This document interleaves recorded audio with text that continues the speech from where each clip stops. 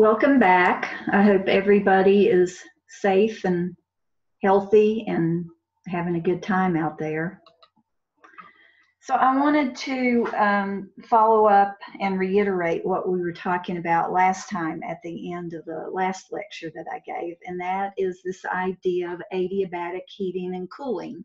The fact that air is cooling off as it rises because it's expanding and as it sinks, it's uh, warming up because it's compressing as it's going back down to lower elevations. And that's what I ended with last time. So we talked about these different rates, how we have a dry adiabatic rate. That's the rate that air cools off at before it's saturated, and that's 10 degrees Celsius for every 1,000 meters that it rises. We have a moist or wet adiabatic rate. Whoops, sorry about that go back. Um, wet adiabatic rate, which is 5 degrees Celsius for every 1,000 meters that the air rises.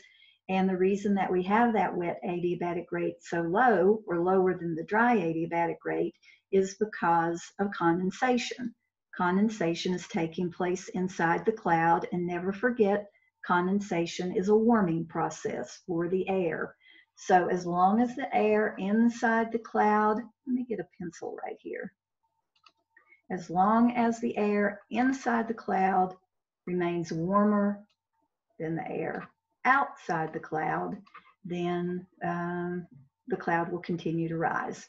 So the, for purposes of this uh, diagram, we assume that all the moisture came out on this side of the mountain, which we call the windward side of the mountain. I wonder if I could actually write that with this pen. Probably not. No, that takes too long. Windward. I'm not even going to bother with the windward. Um, so the windward side of the mountain, and this is the lee side of the mountain, which is the protected side, or the side that we say is in rain shadow. And the reason for that is because as the air descends, it warms up. And remember, we need cooling temperatures in order for condensation to take place.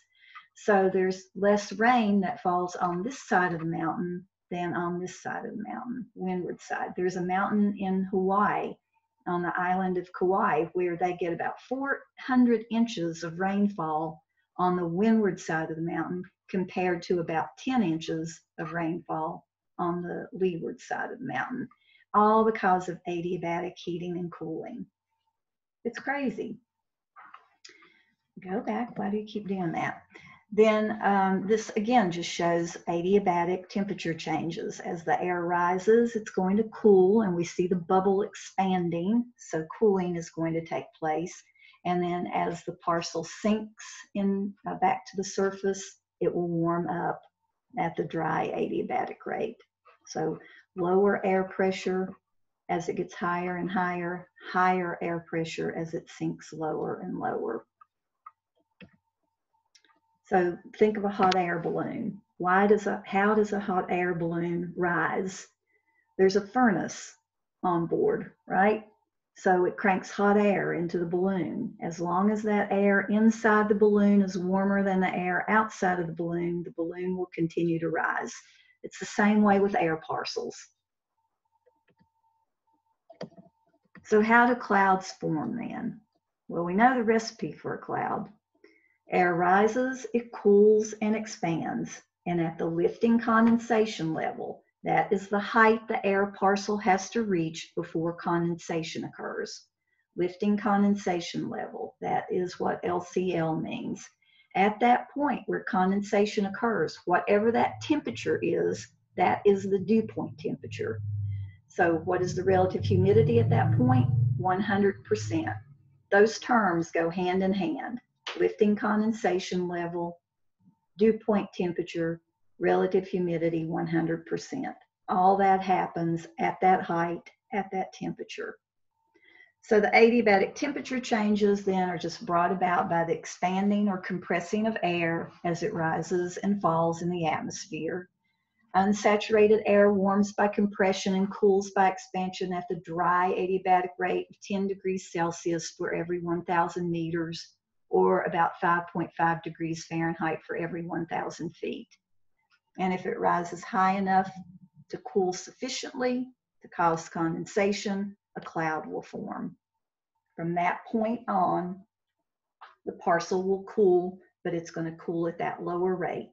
At the moist adiabatic lapse rate, you will see these uh, abbreviations all over the place. Moist adiabatic lapse rate, MAR, MALR, they all refer to the same thing. Uh, dry adiabatic lapse rate or dry adiabatic rate. Um, don't get confused with the initials. I'll try to be consistent when I use them on a test, but the moist adiabatic lapse rate is 6 degrees Celsius for every 1,000 meters or about 3.3 degrees Fahrenheit. So why does that rate change at that point? You have to remember that at that point, condensation is taking place and condensation is a warming process. So that's what happens as air is rising up and down. Uh, so think of these as parcels of air. Think of these as like uh, balloons of air that are mo moving up and down in the air that's already over an area. So there's something called an environmental lapse rate. That's just the change of air temperature in the vertical. And we have weather balloons that go up to check the temperature, the humidity, the pressure, the wind speed. These things go up, I think it's twice a day, uh, and they all go up at the same time. And all that information is sent back down to the surface because the balloons will have a little radio sonde attached to them. Um, it's a little instrument package and it's measuring all this stuff at every level as it travels up into the atmosphere and that information is sent back down to meteorologists. So they know what is happening in the air that's already over us. So if the ground warms up and there's air that's rising up through that cross section of air, then we're going to know whether that air is going to be cooler at every point than the air around it or warmer at every point than the air around it. And if it's warmer at every point than the surrounding air, then that's unstable unstable air. And when we have instability, it might just be that we see clouds in the sky.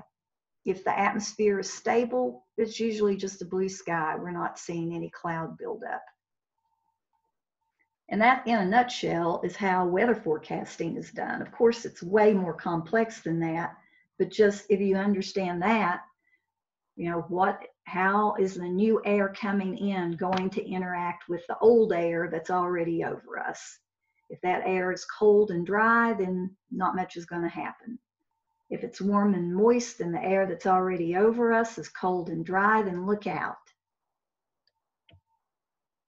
So we want to have these ways that air can be uplifted. What are the mechanisms of uplift? Because that's what we need to have in order for uh, weather to happen. And there are four basic ways that air can be uplifted. We've already seen the orographic lifting. Elevated areas act as barriers, so when air hits a mountain range, the only place that it has to go is up. And we know that rain shadows can be produced on the other side as a result of, of uh, adiabatic uh, heating. Frontal wedging, you've heard the term cold front, warm front. Well, this is how air gets uplifted at cold fronts and warm fronts. So cool air acts as a barrier to warm air. The air of different temperature, it's like water of different temperature. They don't like to mix. They're like oil and water. Um, they will they will warm air will rise over top of cool air. Cool air will sink in response to warm air. Then convergence. Convergence is when air flows from opposite direction. Air flows in from opposite directions and they converge upon each other. When air converges, the only place it has to go is up. And remember, rising air is unstable air. Convection is the upward motion of warmer air. Warm air rises. We call that convection. Warm air rises, cold air sinks. Rising air is unstable, sinking air is stable. So let's look at a couple of these. This is um, Spearfish, uh, South Dakota. Spearfish, South Dakota holds a weather record because of orographic effect. At 7:30 a.m. on January 22nd, 1943, in Spearfish, South Dakota, the temperature was minus four degrees Fahrenheit when a Chinook, a wind that goes downhill, so this would be a wind on the leeward side of the mountain, a warm wind coming off the mountain, began to blow very quickly. Within two minutes, the temperature had risen to 45 degrees Fahrenheit. This 49 degree Fahrenheit rise in temperature is the fastest temperature rise ever recorded. The strange weather patterns continued, and an hour and a half later, the wind stopped and the temperature dropped from 54 degrees Fahrenheit to minus 4 degrees Fahrenheit, a total drop of 58 degrees Fahrenheit in only 27 minutes. That is a world record. Um, so, why does that happen? It's because of adiabatic warming. Adiabatic warming can produce these Chinook winds. The Rockies are famous for the Chinooks that come down on the leeward side of the Rockies. You might start out in Den- Denver in the morning with snow on the ground and a temperature at about 20 degrees. And then by the afternoon, because a Chinook wind is blowing, the temperature is, has risen to maybe 50 degrees. Chinook is a Native American word that means snow eater. So you know what's going to happen to that snow on the ground if that warm air inundates the area. It's going to rapidly melt. So here in the upper left-hand corner, this is orographic lifting. Air comes up, we see clouds forming on this side of the mountain. Airflow down the other side, air is descending, so it's warming up. So here's our rain shadow over here. This is the lush side. Think of the California coast. Think of um, Fort Bragg, Humboldt County, all the rain that forms on this side of the, of the, of the coast range the trees that grow over here, uh, the redwood trees that grow over here. And we drop over the mountain and it's dry. So we, Sacramento here, we would be in the rain shadow. Then on this side, we would have another mountain, the Sierra Nevada. So this is frontal wedging. Um, this is a warm front. A warm front is coming in, so that warm air is going to be uplifted over the cool air. Cold air is heavy and dense, so it tends to sink. As that warm air is lifted, it's going to adiabatically cool. So we end up with clouds that are forming. And then convergence, Florida is a perfect place to talk about convergence and convection because here's what's happening. We have air from over the Gulf of Mexico moving over to Florida. We have air from the Atlantic coming over Florida. Those the air is converging and then it's going to warm up and convect. It's going to rise. So we get lots of thunderstorms. Uh, Florida is holds the record and is the has the most uh, number of thunderstorms of any state in the in the union. And then convective lifting, warm air rising, reaches that condensation level, lifting condensation level, whatever the temperature is there, that's the dew point temperature, so we get a cloud that forms. All right, so this picture, this satellite image shows Florida, this peninsula sticking out into the water. Here's the Gulf of Mexico over here. Here's uh, the Atlantic Ocean here, air coming from here, air coming from here. Every one of these puffballs that you see, those are thunderstorms. These smaller ones might not be thunderstorms yet, but they have the potential to become thunderstorms. I like this image because another thing that you see is these dark spots where there are no clouds that are building up. Anybody know what those are? It's water, the lakes. Um, this perfectly illustrates land water uh, heating and cooling land heats up faster than water will. So the land is heating up faster, the air is rising over the land. Um, the adjacent water bodies are going to be cooler, so the air tends to sink. So you don't see any of these clouds over the water. Now, that doesn't mean that you get one of these big thunderstorms and it can't move over the water. But for the most part, this is stable air, all this over the land masses. Look at all of these little, look at those. Dude. They're just all over the place. Um, so what was I saying? Oh, yeah, all these are just um, the big puffballs are big thunderstorms. So again, uh, uh, Florida, number one in thunderstorms, number one in lightning strikes, number one in lightning deaths. Stay away from Florida. Then this is convection. Again, we're illustrating uh, adiabatic heating and cooling here. Dry adiabatic rate, air is rising, it's unsaturated, so it's rising and it's cooling off at 10 degrees Celsius for every 1,000 meters. And then at some point, and at this point it happens to be 3,000 meters. So 3,000 meters is the lifting condensation. Let's see if I can write this, lifting condensation level. Um, and at that point, that's where the dew point temperature is. And in this particular scenario right here, the dew point temperature is, can I do it? No, um, my pen is over here. The, two, uh, the uh, dew point temperature is two degrees Celsius.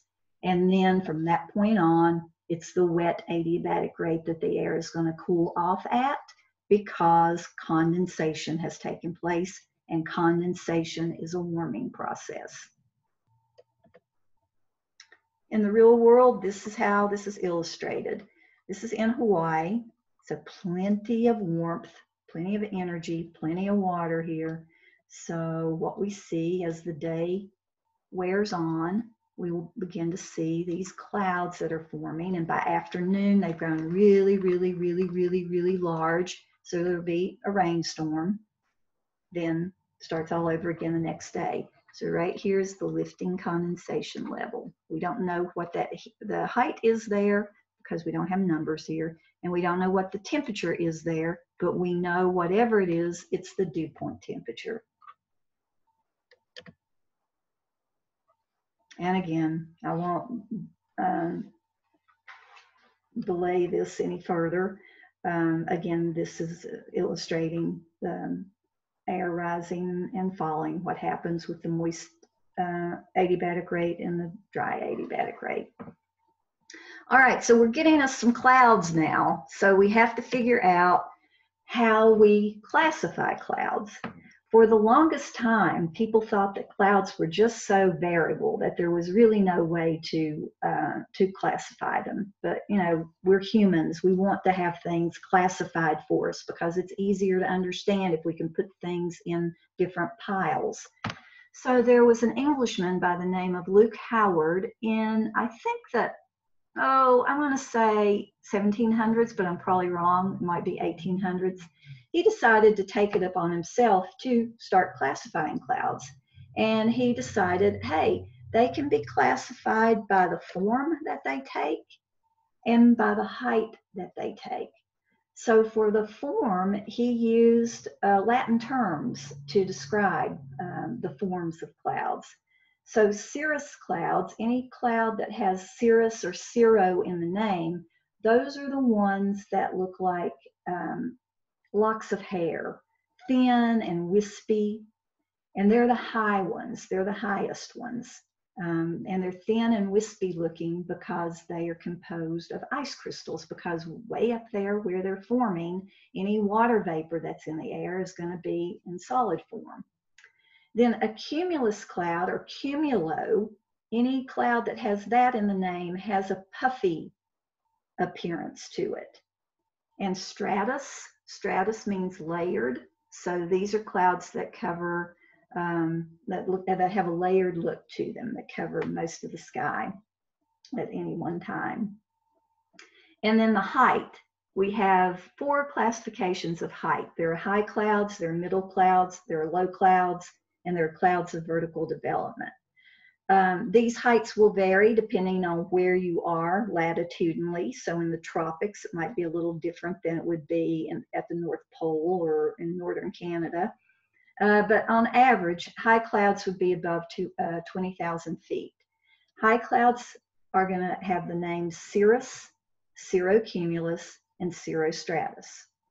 Middle clouds are from about 6,500 to 20,000 feet, and that middle clouds will have the term alto in the name. So alto cumulus or alto stratus, alto middle level puffy clouds or middle level layered clouds.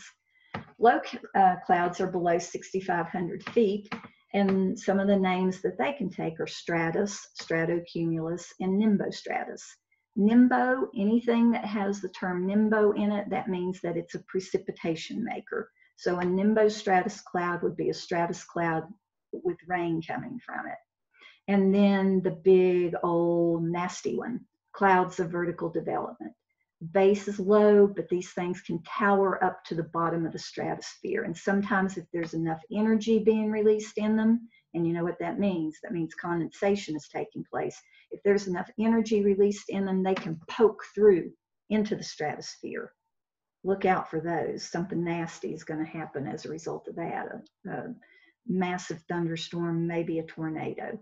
So these are clouds of vertical development. They are cumulonimbus clouds. I don't know if you can see that term. It looks like my slide is too big there, but cumulonimbus clouds. So let's look at the cartoon version of these.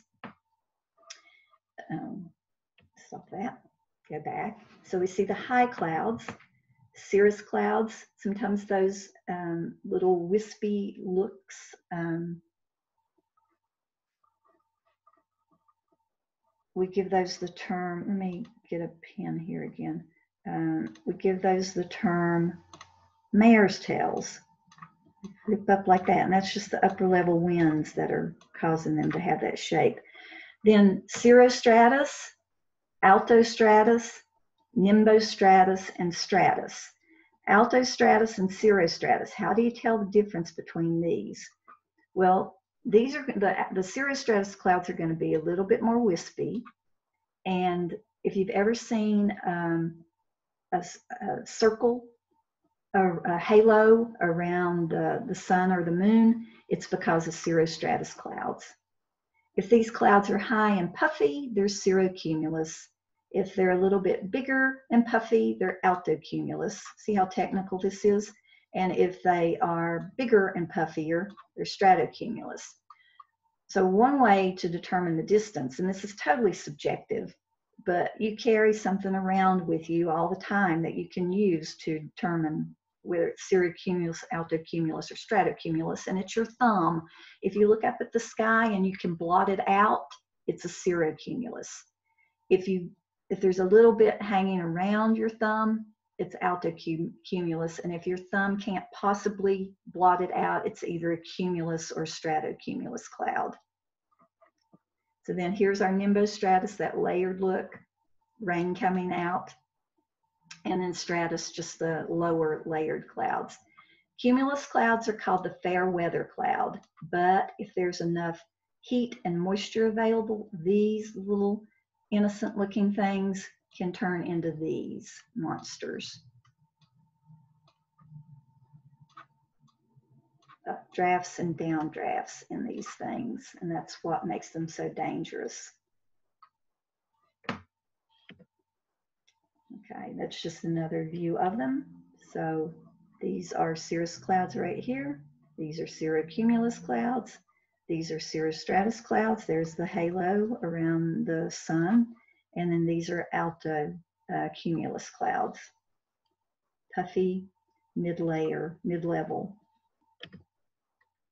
So cirrus, sometimes the ice crystals will get so large that they begin to fall out of the bottom of the cloud those are called, that's called ice fall when that happens. Those are cirrocumulus clouds. And sometimes those will produce what is called a hole punch cloud. I won't go into detail about what causes this, but planes flying through can be one, causing um, uh, the ice particles to get larger, be attracted to each other, and they just kind of fall out, leaving a hole in the cloud.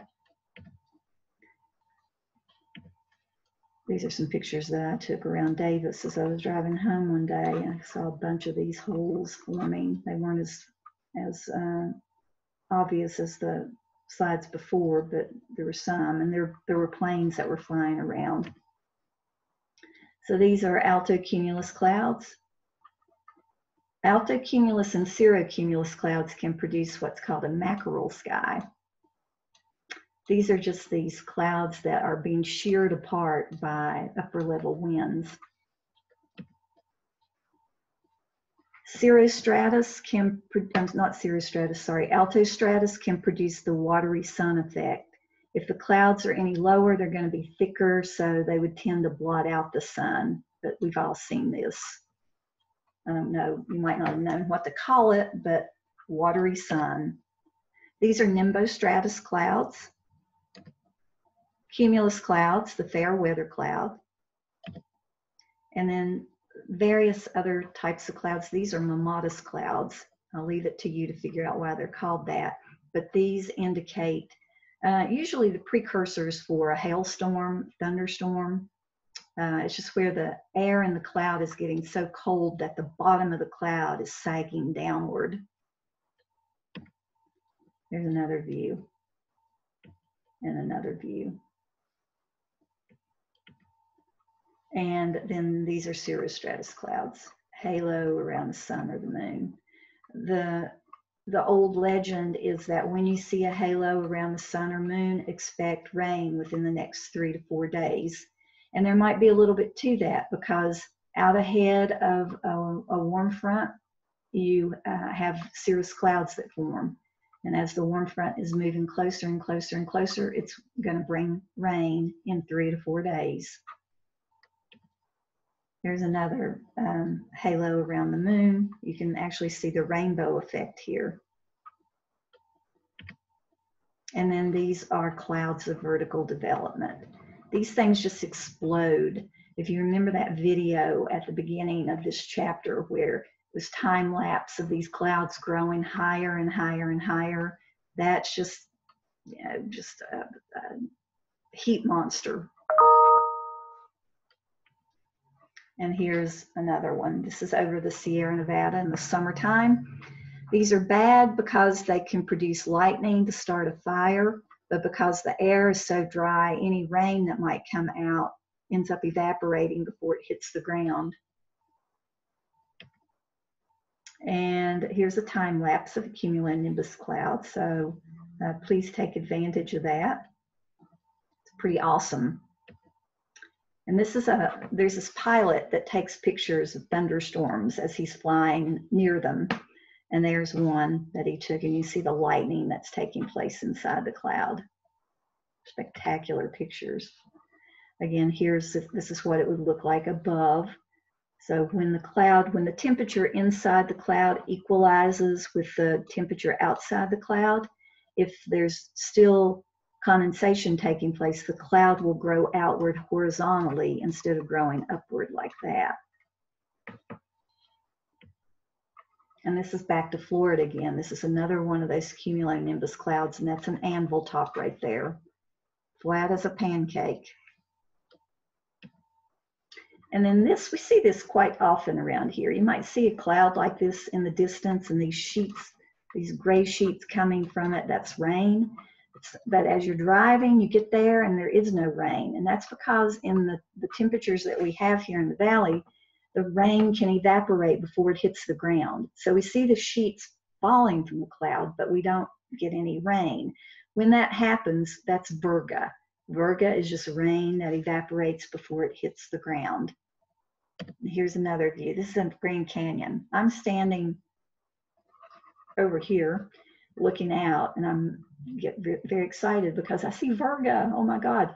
That so this is kind of the opposite of lifting condensation level. This is like dropping evaporation level or sinking evaporation level. So the temperature down here is too warm, so um, rain doesn't make it to the ground. There's another view. This is just down the road from that.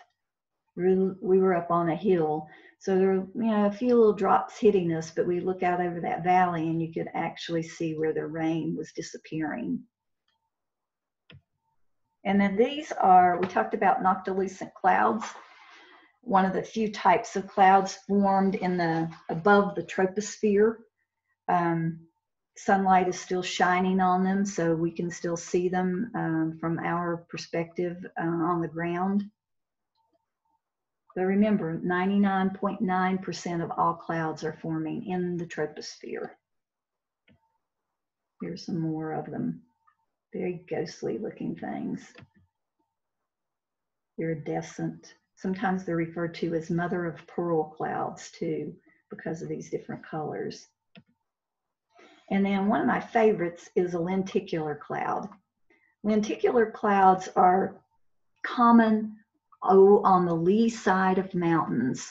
So we get to see them in, uh, sometimes uh, as we're driving uh, toward Davis. You can see the coast range, of course, in front of you, and sometimes you see these lenticular clouds that are forming. So airflow is coming over the mountain and it's pretty streamlined. When it's non-turbulent, we call that laminar flow. And in the air, you're going to have these moist layers and these dry layers. Well, where there's a moist layer, condensation can occur, and that wind coming over can carve those clouds into really these architectural looking um, uh, shapes. There we go. That's lenticular cloud. Sometimes they get mistaken for UFOs. They can sometimes look actually metallic. This is on the lee side of uh, Mount Shasta. There's some more.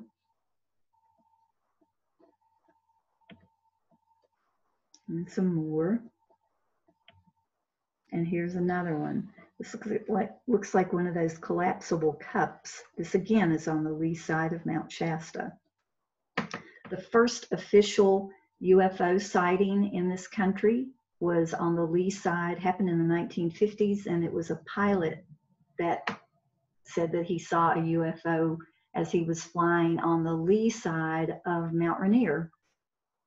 So maybe he saw just a lenticular cloud. These are more, these aren't as fantastic as some of the others, but Still pretty good. I like this one. It looks like a bunch of top hats that are flying through the air. Well, at least one top hat. There's a short stack of pancakes. You can see why people think, wow, it's a UFO invasion. I just put this picture in here because I thought it was so pretty and I like that glow, that pink glow that, that things can sometimes have towards sunset. That's called the Alpen glow. I guess because it's must be a common phenomenon in um, in the Alps. This happens to be in the Canadian Rockies, though. And then this is a supercell thunderstorm. Look at that tight circulation in there. Um, look at the growth of this thing uh, and the rain coming out of it. So it's that circulation that can produce a tornado. Lightning, We'll talk a little bit more about lightning when we get into chapter uh, 14, I believe it is. More lightning, more supercell thunderstorms, a shelf cloud associated with a supercell thunderstorm. And then these happen as a result of um, air moving in different directions. So they look like waves breaking on an ocean uh, and they're called the Kelvin Helmholtz clouds, for the two guys that describe that type of, of movement. Usually higher up in the sky, and the air can be either going a different direction or a different speed, and you can get that type of wave look. That brings us to types of fog. A fog is just a cloud at ground level. What is a fog composed of? The same kind of thing that cloud droplets are composed of. Water. Um, fog, the droplets are tiny, so they are able to stay in suspension, just like cloud droplets are tiny. That's how they're able to stay in suspension. So I am going to stop here because I don't want to um, have a lot of minutes on this and have a, a hard time uh, uploading it to YouTube. So I'm going to stop with types of fog and I'll pick this up later. So bye for now.